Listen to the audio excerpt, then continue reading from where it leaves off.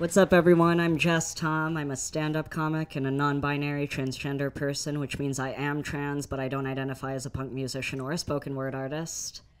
As a non binary transgender person, I feel most affirmed by cis confusion. So if any of you didn't get that, thank you. I feel seen. I feel affirmed. Ugh, it feels so good, guys. So are there are there queer people watching this tonight? Okay, good, good. So I just want to be real with you that doing stand up for queer people scares me the most because it's hard to make us laugh, which is fine. You know, we've seen stuff, we've been through stuff. Like a stand up comic is like, so, uh, where are you from? Queer people are like, generations of trauma in the diaspora.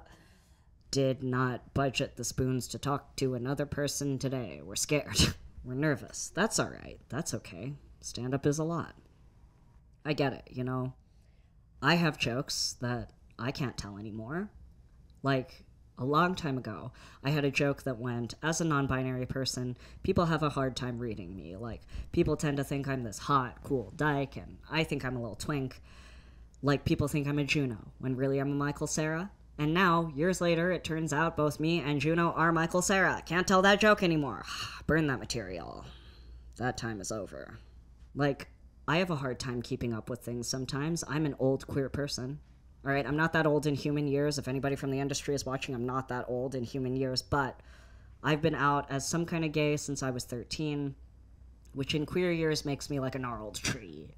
You know, very Shel Silverstein's The Giving Tree. Like now, it's 2021. I watch all these little gay children play under me. they have things I didn't have they're carving things into me. A lesbian is, I'm like, oh, I was a lesbian before you were born. It's hard, you know? We're changing. Everybody's growing up. Like, um, my childhood best friend got straight married. Hey, love is love. Love is love. That's okay. They're allowed to do that. My childhood best friend got straight married. She actually got married to the boy she's been with since we were 16. I know, right? That's a straight love story. That's a love story for straight people. Like, I can't do that right? It's different for me. If I were to try to do the same thing, I'd be getting married to a Keira Knightley MySpace banner I made in 2006. I'd be getting married to a copy of Elle magazine with Emmy Rossum on the cover. It's not the same. Not the same for me. Childhood best friend got straight married. She actually asked me to be in the wedding. I said yes because I love her, though I don't support the lifestyle. But I had to think about it. You know, I had to think how can I be true to myself and still be in this straight wedding? I had to make a hard decision. I decided I could not go to her bachelorette party, right? Because it cannot be me alone in a beach house in San Diego surrounded by 10 drunk straight women. That's not safe.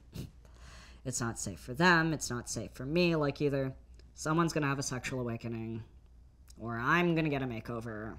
Either way, can only end in tears.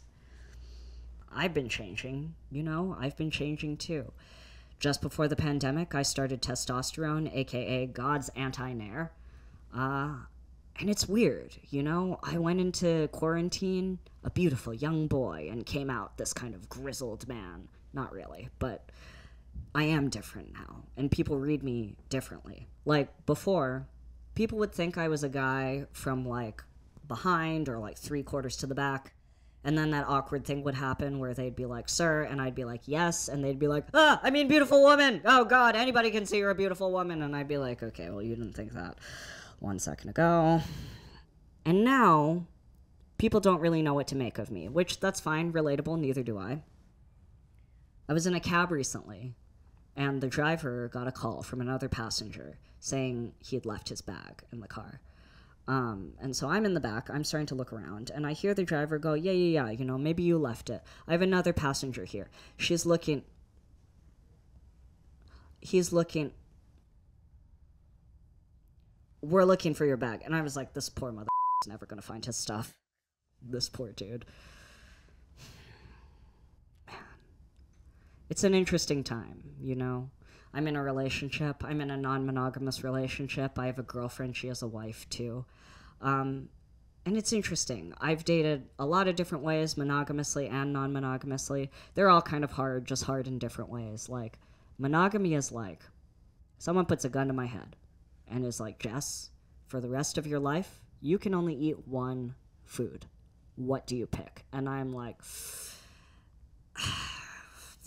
Okay, um, I pick pizza, right? It's my favorite food. If I get it every single day, I might get kind of bored of it, but it's my favorite. I always know what to expect, and I'm always going to kind of like it. Non monogamy is like, no gun to my head. I waltz into the buffet. I'm like, hmm, hmm, hmm, hmm I am going to get pizza and tacos and french fries and duck a l'orange. And I get all of them. But sometimes the pizza and the duck a l'orange want to have dinner without me. And that's fine. I'm happy for them. I'm happy for them over there. I support it. It's good. No, but it is good. It's a good setup for us. But it was hard in the pandemic, especially, right? Because it wasn't always safe for us to see each other. Because it's like, if you're monogamous, you get the plague, you give it to your partner, you die in each other's arms. That's the notebook. That's Romeo and Juliet. That's the greatest love story of all time. If you are non monogamous, you get the plague, you give it to your partner, they give it to their partner, that person dies. That's unethical non monogamy. That's you being the unethical slut. All right, guys, that's my time.